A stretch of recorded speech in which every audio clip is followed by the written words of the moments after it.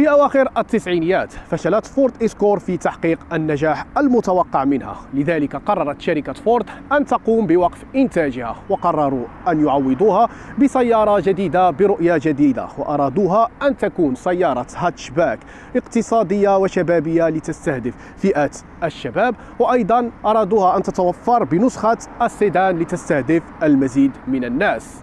وهذا ما جاءوا به.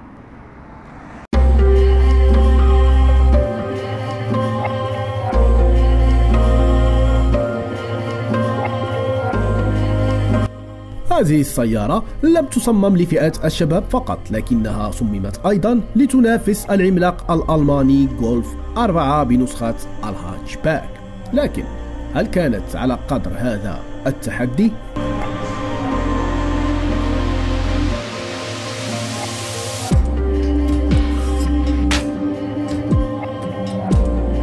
تتوفر سيارة فورد فوكس نسخة الهاتشباك على خيارات محركات متعددة بدءا من الواحد فاصلة أربعة بنزين إلى اللترين بقوة 215 حصان في نسخة ال RS. فورد فوكس سيدان لا تتوفر على نسخة ال RS بينما منافستها جولف 4 تتوفر على خيارات محركات أوسع بدءا من الواحد فاصلة أربعة بنزين إلى 3.2 في نسخة ال R 32 بقوة 240 حصان. نفس الشيء بالنسبة لمحركات الديزل. تتوفر سيارة فورد فوكيس على أربع محركات ديزل بسعة 1.8 تتراوح قوتهم بين 75 حصان و 115 حصان.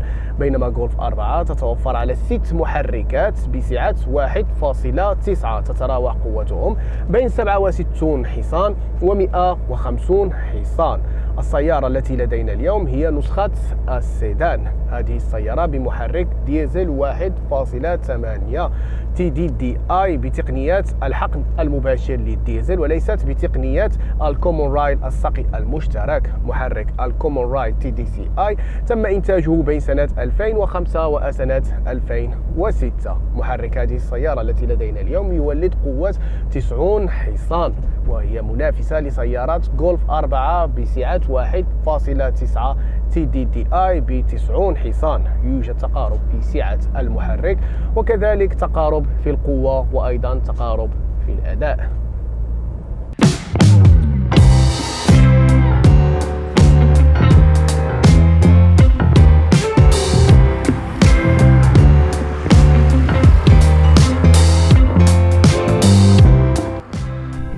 نسخة الهاتشباك من فورد فوكس وبنفس محرك الديزل 1.8 TDDI تتسارع من 0 إلى 100 في 12.4 ثواني مقابل 12 ثانية لجولف 4 المنافسة لها بمحرك 1.9 TDI وتولد فورد فوكس 200 نيوتن من عزم الدوران في 2000 دورة مقابل 202 نيوتن من عزم الدوران في 1900 دورة بالنسبة للجولف 4 المنافسة له كما نرى يوجد فرق طفيف للجولف في المنافسة في الأداء. لكن السيارة ليست فقط هي المحرك وأداء المحرك.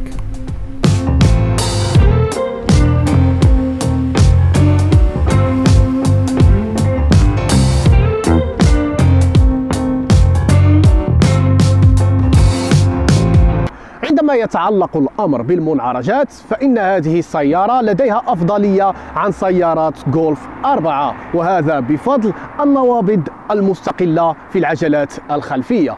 تضمن لك النوابض المستقلة في العجلات الخلفية أنه إذا تعرضت العجلة لأي عوائق في الطريق فهذا لن يؤثر بتاتا على العجلة في الجهة المقابلة.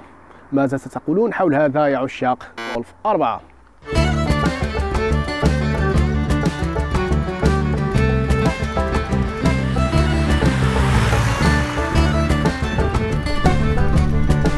هذا النظام أفضل في الأداء وأيضا أكثر تكلفة. ومع هذا وضعته شركة فورد كخيار أساسي في سيارات فوكس والتي كانت أرخص من جولف 4 وكان يتراوح ثمنها في سنة 2000 بين 12 ألف دولار و 15 ألف دولار. بينما الجولف 4 كان يتراوح ثمنها بين 14 ألف دولار و 17 ألف دولار.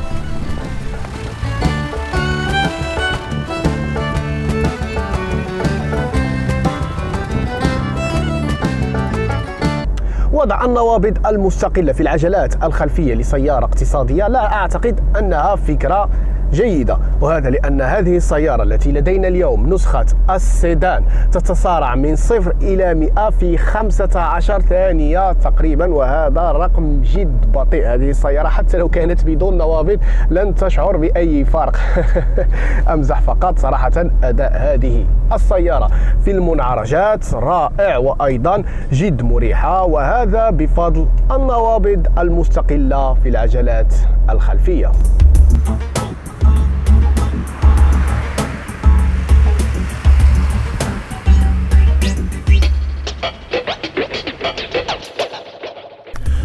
تتوفر هذه السيارة على مساحة داخلية جيدة في الأمام والخلف ومساحة صندوق أيضا جيدة كما أنها تتوفر بخيارات متعددة كالمكيف التلقائي والمرايا الكهربائية وصندوق يفتح عن بعد أيضا.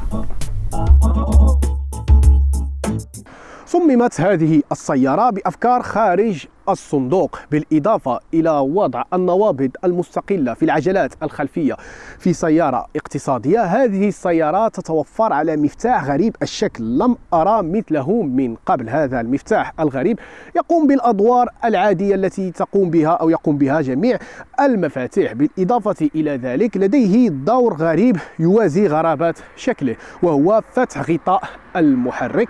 أجل غطاء المحرك في هذه السيارة يفتح عن طريق المفتاح فقط. لا يوجد أي مقبض في الداخل أو في الخارج فقط المفتاح. مهندسو فورد جاءوا بفكرة عبقرية وهي أنهم قاموا بتخبئة ثقب المفتاح خلف شعار فورد. كل ما عليك أن تقوم به هو إدارة الشعار وإدخال المفتاح لفتح غطاء المحرك. صراحة أجد هذه الفكرة رائعة ولا أعرف لماذا لم تستمر بها شركة فورد. ومع المزيد من الأفكار خارج الصندوق هذه السيارة قام بتصميمها المصمم الفرنسي كلود لوبو هذا المصمم الفرنسي كلود لوبو كان كثير التدخين وربما كان يواجه مشاكل أثناء التدخين والقيادة.